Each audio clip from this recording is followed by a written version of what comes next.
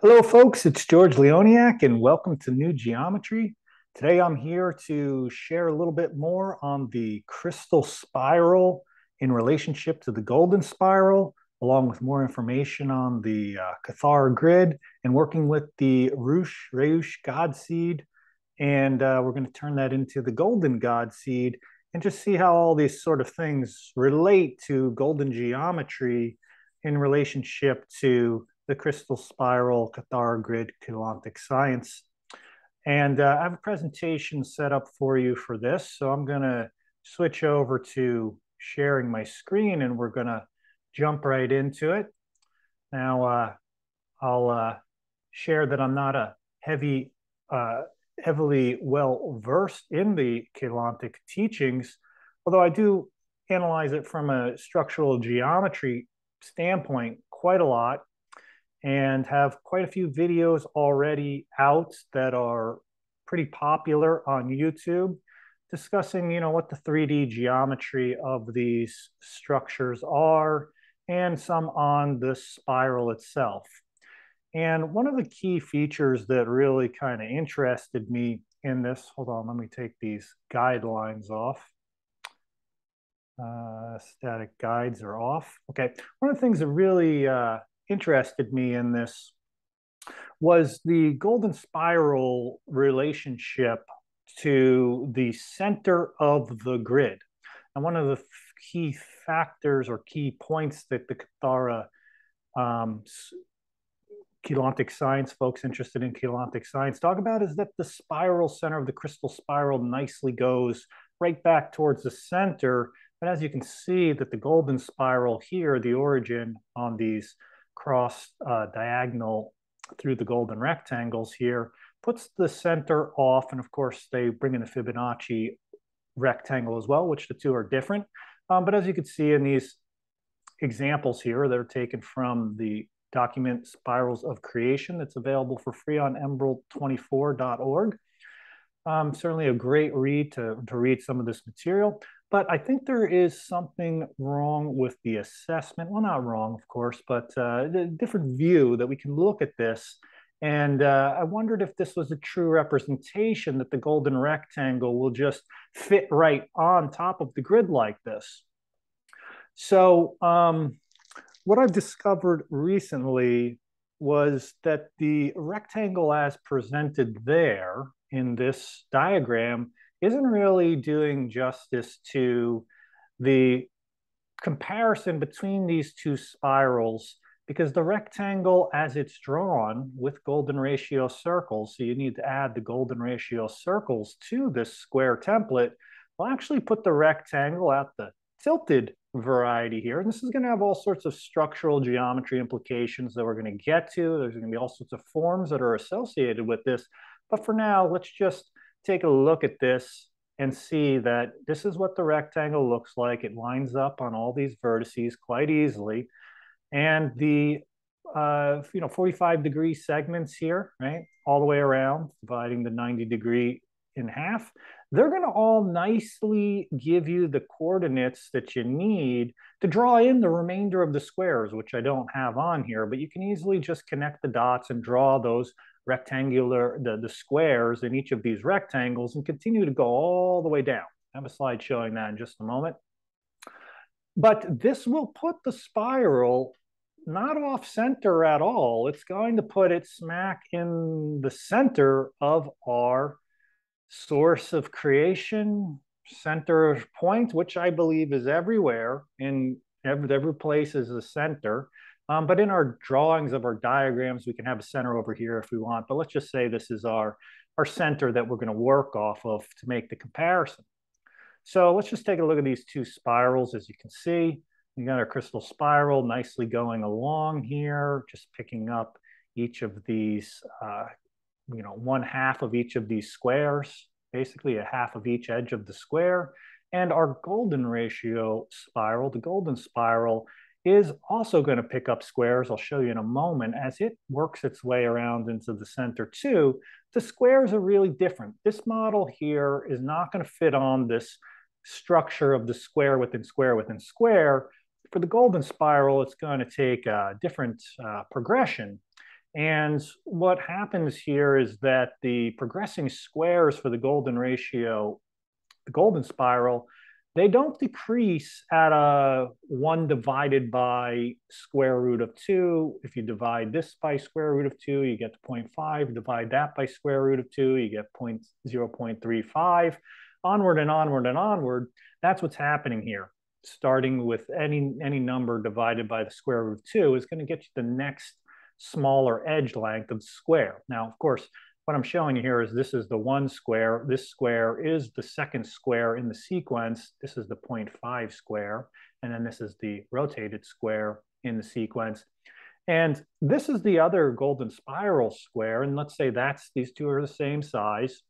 The next square down is 1 divided by phi. So that gives us the 0.618 edge length. And then that will be divided by phi, 0.38. That divided by phi, 0.23, on and on and on. Now, what I want to show you here, just as a visual really, is just what's happening with the uh, progression rate between these two spirals. This spiral is very, very fast in terms of its compressive ability, um, the phi ratio one that is, because the successive squares are going uh, very, very quickly towards the center. And we can kind of see that in the spiral's progression here. As this one's kind of working its way around, picking up each of those edges, this one is just whipping right around and we've already come back around and maybe, you know, a few times crossing this, this line here. So we've gone one, two, three, and here we're going to go one, two, and then we're back at center. So anyway, this is a kind of crude analysis, but as you can see, the, the progression of the squares are in the same amount of distance, let's just say, the same amount of uh, edge lengths added up, the four, to this uh, very steady, smooth progression here of uh, eight progressions to four, really, as it's working out there. So anyway, I think someone might have some fun like checking that out a little bit more than me. I, just to put it in here. Uh, the other one over here, this diagram is just because I did it on the central squares, but this one I did it for the golden rectangle in comparison to the actual edge lengths that the Krystal spiral is made up of. And we also get that four to eight kind of progression as well. Um, so these next slides are really just to kind of show, you know, there's a lot, the Krystal spiral is going to, you know, this is pretty much uh, what it does. And we could put that in different places on this grid, which is quite cool design-wise. Um, but let's just look at the golden spiral because it really hasn't been depicted very often, probably uh, at all that I see unless a creative artist is able to get it into the center and work with it. But this is a very easy drawing technique to put it right in the center easily, just as easy as doing the Krystal spiral and finding center. Just add the golden ratio circles, like I'd say probably uh, 0.618 of my videos uh, describe using golden ratio circles. So um, we're going to uh, show in this one just how those golden ratio scaled squares, basically uh, you picture this as a spiral. It's just going around here, boom, boom, boom, and it's picking up each corner of the square the, below it as it continues on. And that's really what the spiral uh, progression follows. Now I did this, of course, on the, uh, on the iPad drawing here. And uh, I scaled this way, way out. So even though this looks like it has a geometric end, and even if we did this with the Krystal spiral, I could continue to uh, zoom further and further into that. And uh, both of them will infinitely go on and on and on to uh, closer and closer to a zero point. So we can also, um, the pentagon will also integrate into this design basically when you add smaller golden ratio circles along each of these edges going towards the center, that allows a way to draw a pentagon very easily with a kind of certain design technique, but it does relate that uh, to my previous video and the one before that about the golden spiral's origin, which I have discovered is at the center of any pentagon face. So this will put it in all these nested pentagons um, all the way down to the heart of this uh, drawing.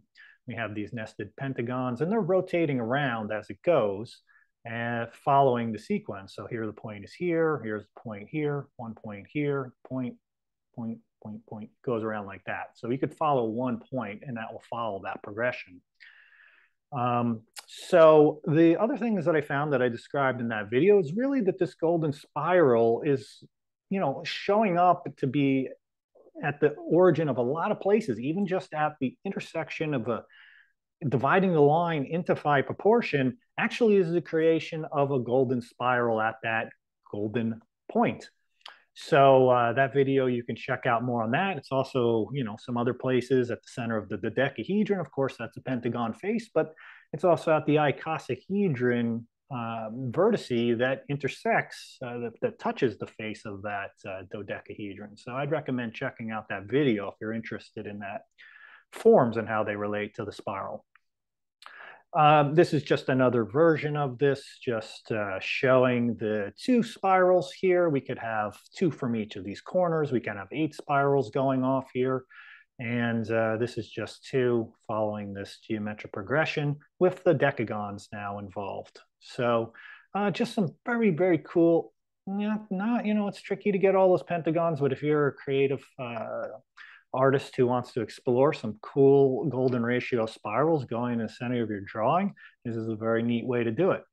Okay, now we're going to jump out of the spiral for just a moment because I want to revisit some of the material in my first video and get back into the heart of the God seed, which is um, very central to the Keylontic uh, divine blueprints studies of geomancies and ascension, here's this little thing from the dictionary that says uh, the most powerful all geomancy's ascension and stargate navigation tools that's recently returned to humanity. So of course i'm interested in checking this out. This is the design eternal life creation the christ code and uh, you know some uh, other images that make it up. Now i uh, you know i don't see the phi ratio too much discussed in much of the teachings but what i'm discovering is that the phi ratio is found throughout all of this Keylontic studies uh, in, the diagrams themselves, maybe not in the teachings themselves, but definitely in the diagrams.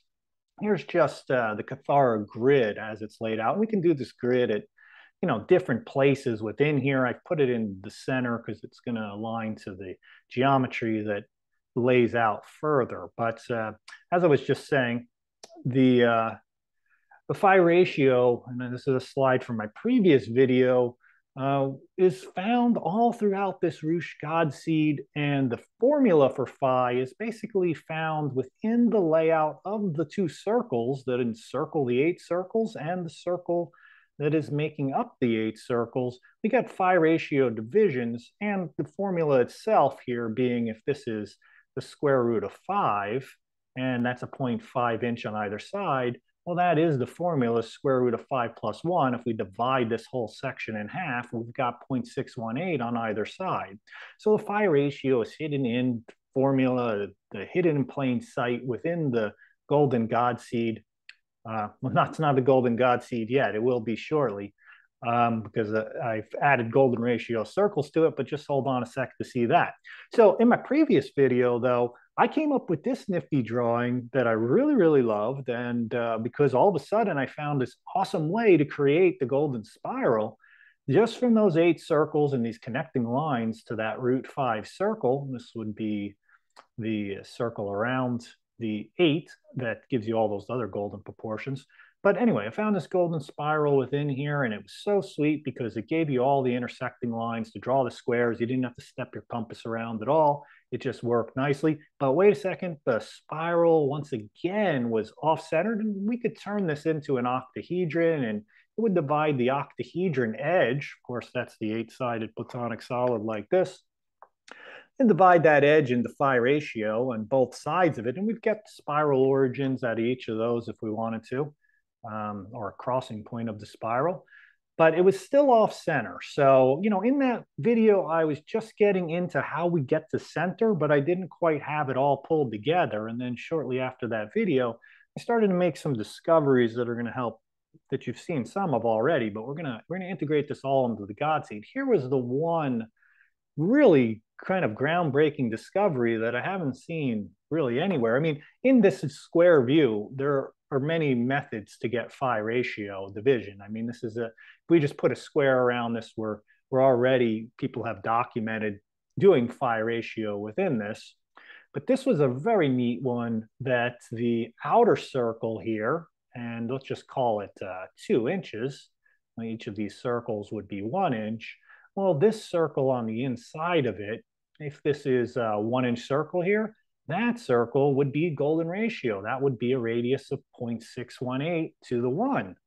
And I thought that was just so cool because that circle basically, not basically, it's a, it is touching each of these circles. It's like drop a marble in between these other circles that are overlapping in this way, and you'll be creating a phi ratio division from the two inch circle to the 0.618 times two circle here.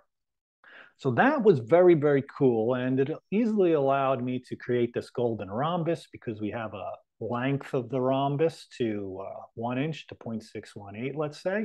So we have the golden rhombus and we're gonna revisit that drawing in just a little bit. Um, so that was definitely a new discovery. And it also then led to a method to put the whole golden rectangle and the golden spiral now right into the Reuche seed geometry and we are once again able to tilt that rectangle over to the side a little bit and then spiral that down into the center. And now we've got our golden spiral, not off like to the side with that rectangle oriented straight, but really oriented in the way that the geometry is going to show all that compressive geometry that I was showing before of the infinite center that is at the heart of this spiral where it's going. We're able to do that right here in this uh, design, no problem. Here are all the points. Top of the circle, corner of the square. Ooh, this could be a square here. This corner point at that petal.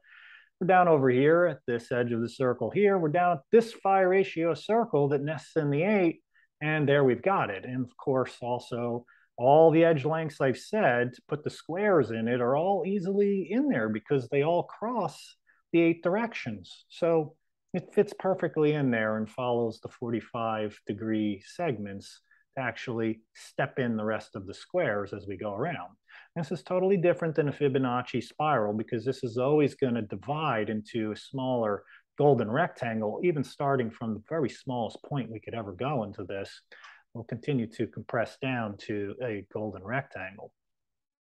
Now, I made this the golden god seed because I wanted to see if there was more to this. And anytime I ever add golden ratio circles to any type of template, there's always more to it. So why not add them here? So I did. I put the golden ratio circles within here.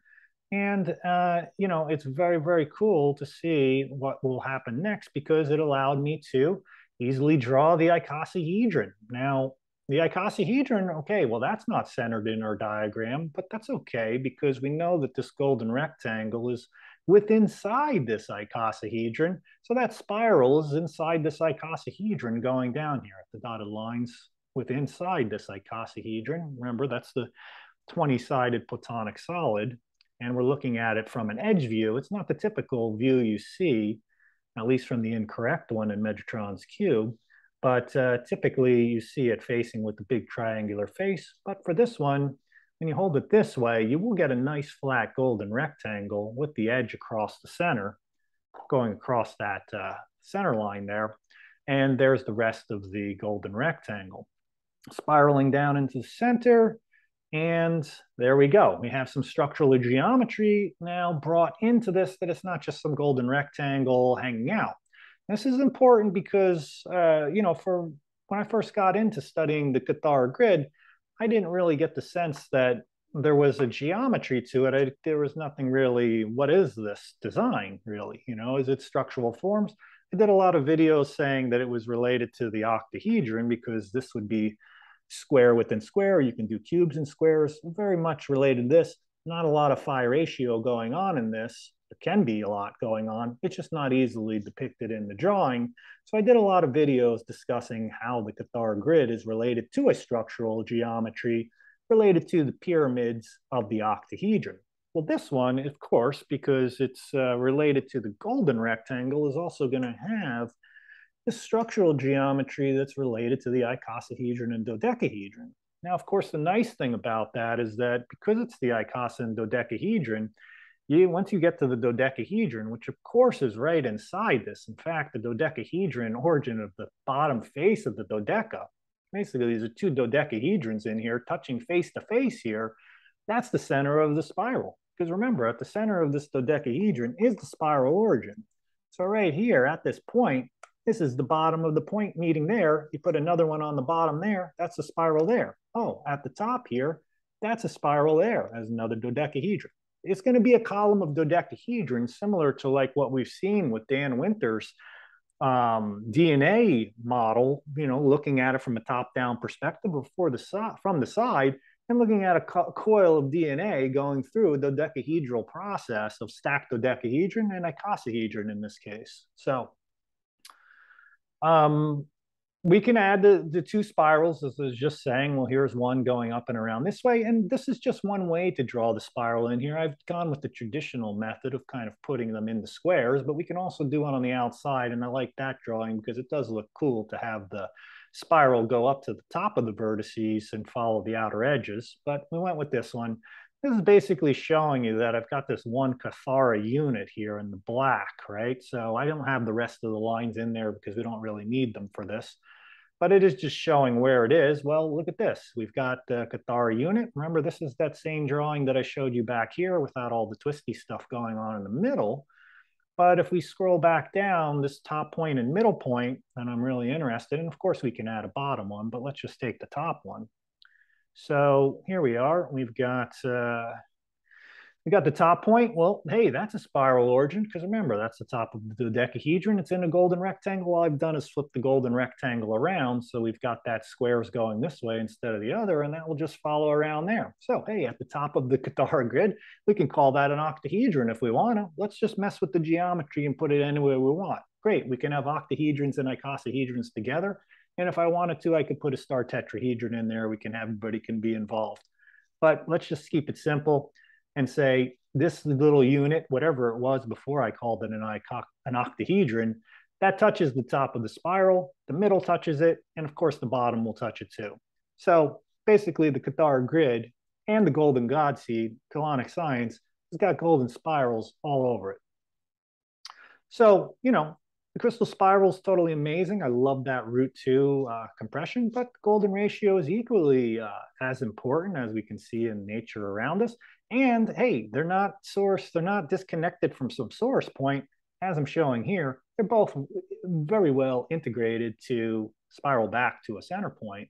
It just was all about reframing reframing the geometry until you know figuring out how that golden rectangle is really oriented in the diagram and for that, we had to think out of the box and get into the you know the golden the golden uh, circles integrated into the square view pattern so i think that really made a big uh, a big rotation in my understanding of this because really what this did is it did put the icosahedron on its vertices like this so really what we're looking at is an icosahedron spinning on its vertice. Now, I put the other icosahedron in there, so we've got two. We've got the one at the bottom. This is going to do some really cool stuff later on. I'm not there yet, but I'm just fleshing out the rest of the diagram so you can see what's in there.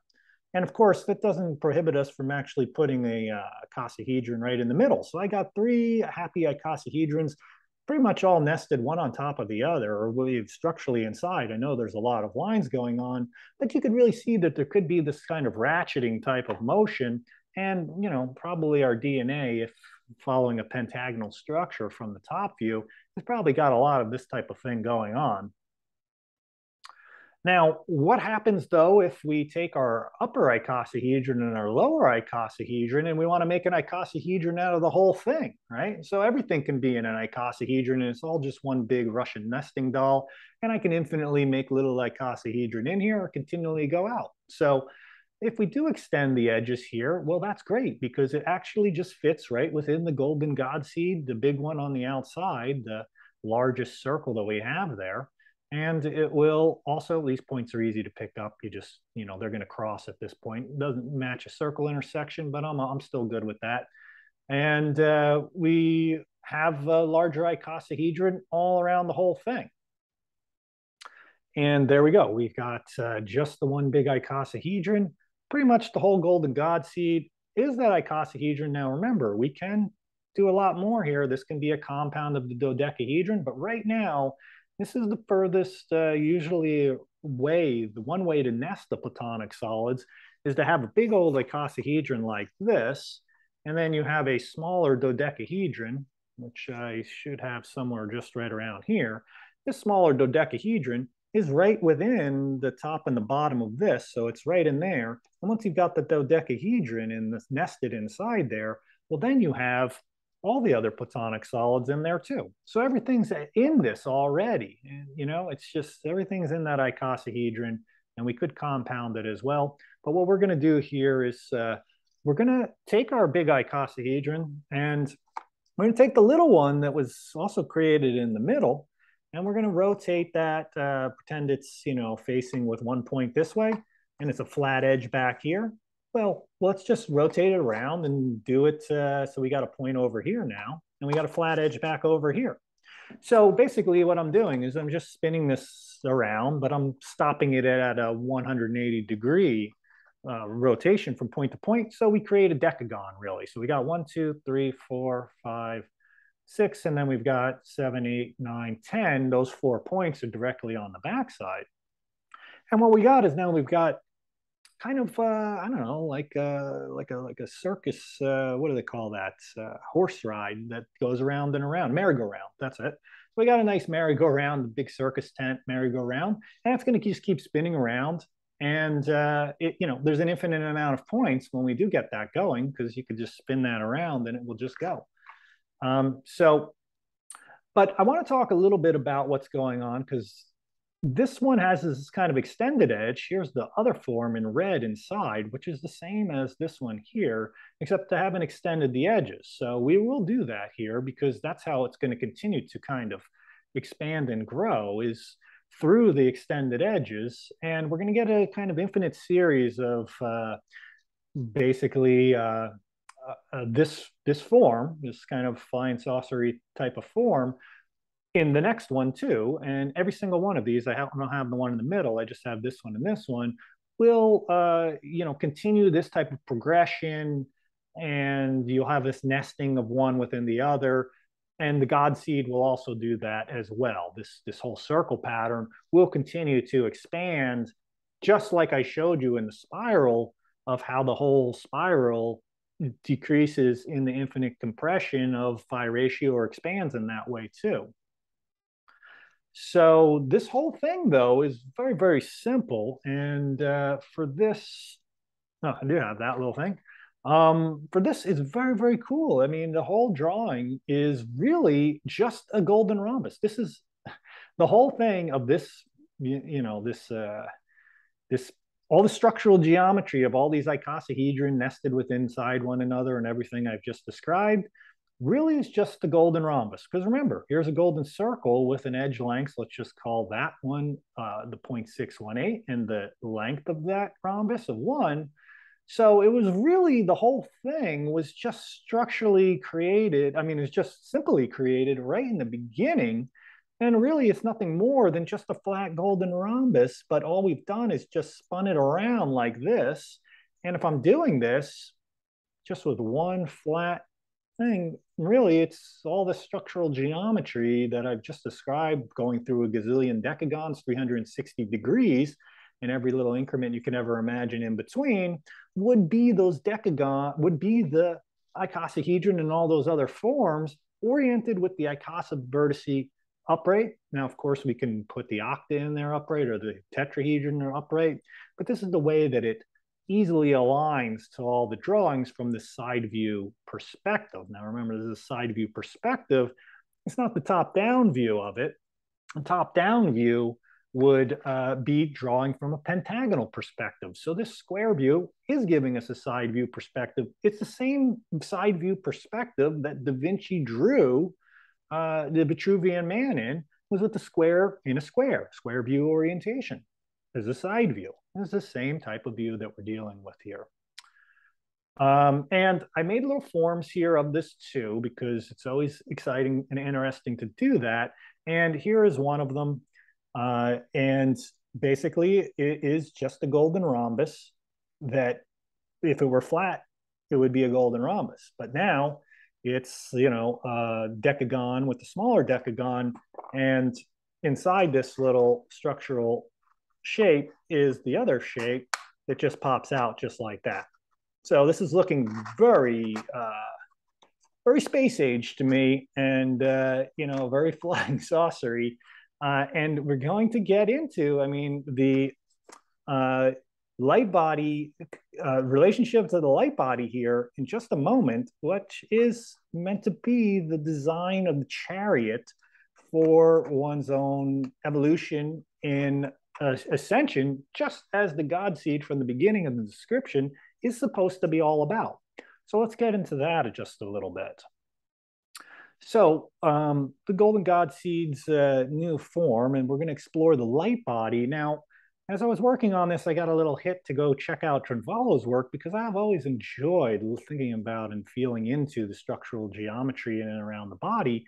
And I've wanted, he has some drawings in the back of his book, which are unfortunately not right here that I can show you, but I do have the slides on here. I wasn't going to show them, but I, I will show his overlays on here just very, very briefly. Um, but in his book, he has a whole structural geometry section that discusses uh, the light body with the star tetrahedron um, with the vertices facing upright. So where's a star tetrahedron here? Uh, don't have one right here, but we've got the, you know, the, the tetrahedron facing down and the tetrahedron facing up. Oh, I have one right here. Great. Uh, you know, the one facing up and one down. So in his drawing, he has that at the center. And in his description there, he talks about, you know, this would be, um, in, in his book, though, he does say that this is really like your beginning entry into sacred geometry because he, in, the, in that section, it will branch out to the dodecahedron in a orientation with the pentagon flat, just like I'm showing in this section with the pentagon flat. And he talks about the stellated dodecahedron, right? Which would be this. And he talks about it being stellated. In the drawing, it doesn't look like an icosahedron in the end. I'm not sure what he was working on, but it's not 100% accurate to the stellation of a dodecahedron. But he is talking about at some point that the orientation of the whole thing from here to the bottom is a stellated dodecahedron, but structurally it doesn't really work out with the star tetrahedron at the base, right? At the very center of that, because that cube in there, or that star tetrahedron, in that dodecahedron is going to be tilted. So whatever, you know, however it works out, however people want to integrate these different caps, you know, that they can filter their information through.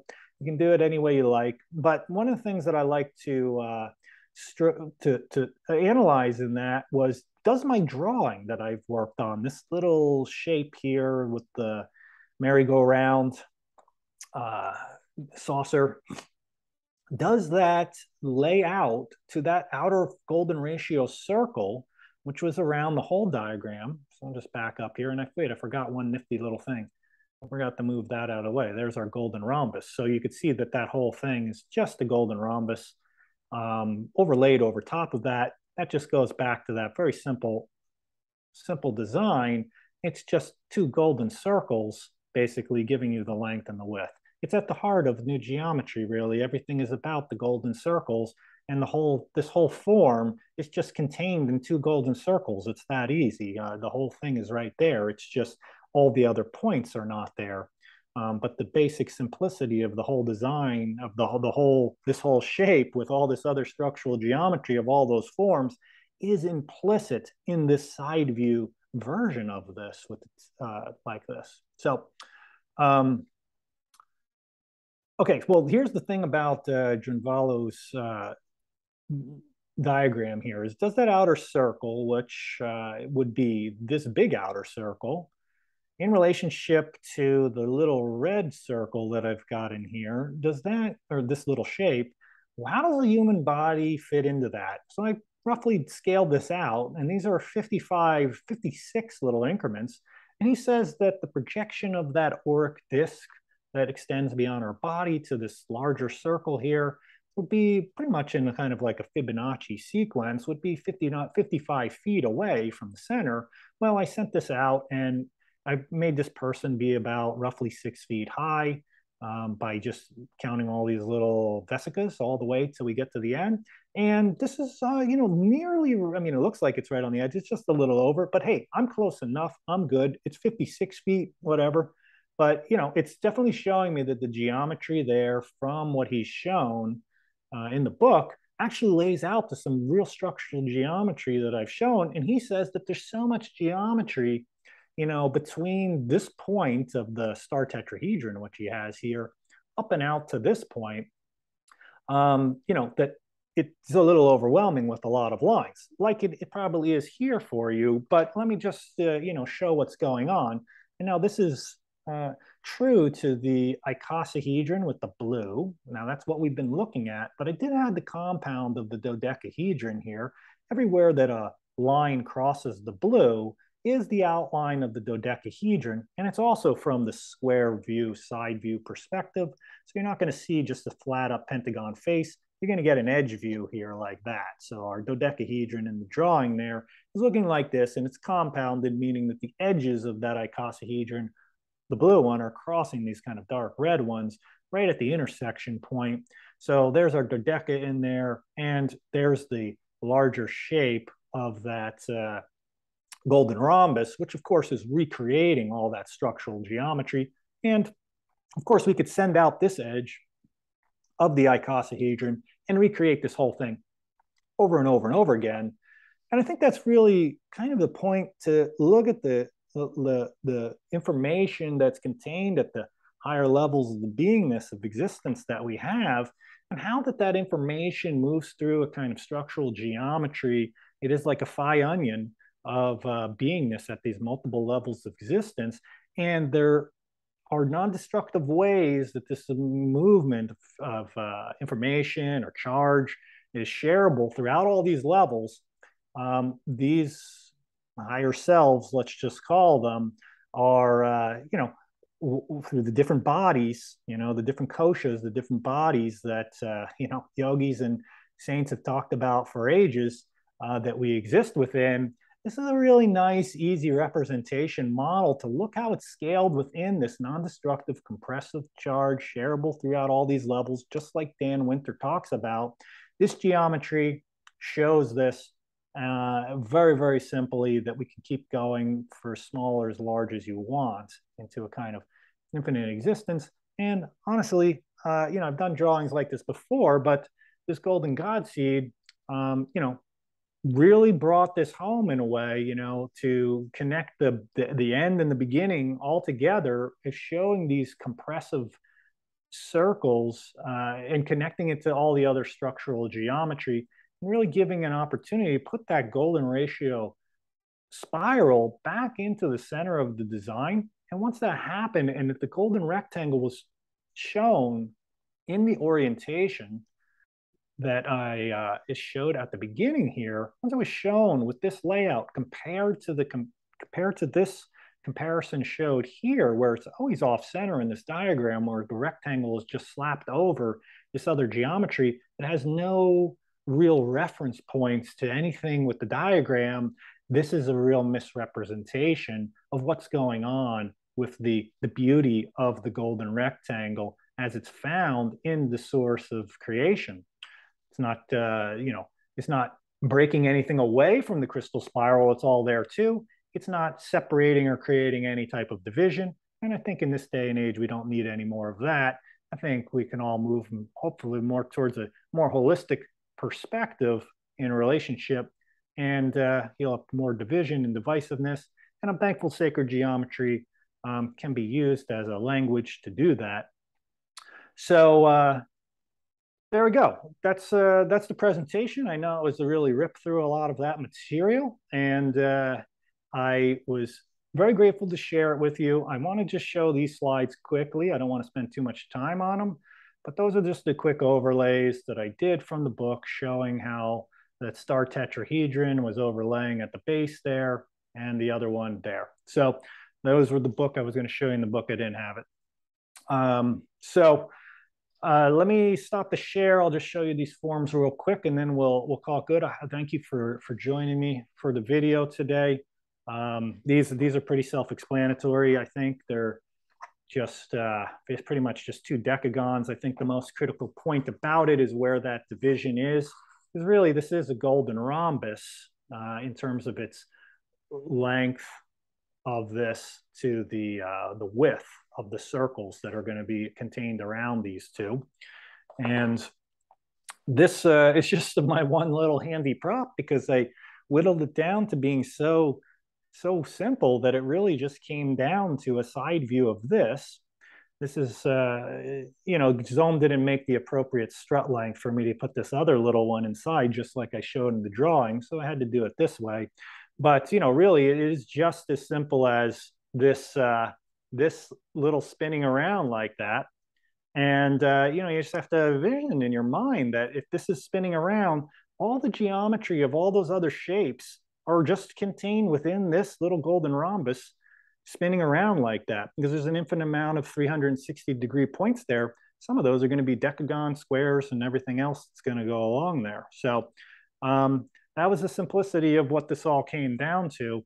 And remember that the golden spiral could be at any one of these vertices and multiple vertices throughout it but just in the diagram of all those drawings, showing how it's uh, integrated directly at the heart of creation and source point. And uh, that's it. So um, once again, uh, please, uh, you know, feel free to enter any comments. Please subscribe to the channel. And uh, I've got one other very amazing video coming up next that is going to revisit the flower of life. And I'm going to show you how to draw the platonic solids within that, uh, especially the phi ratio forms, without drawing any lines until we actually draw the lines of the forms themselves. So it's going to be all based on circles, intersections with no lines. So that's going to be a very fun drawing and very, very fun thing to show in the next video. Um, please you know, check out Knew Geometers Facebook group. Um, check out my website. I've got apprenticeships, all this information will be in the uh, notes in the description. So thanks again for watching, and I really appreciate your time and uh, thankful to share the sacred geometry with you. Peace and love to you.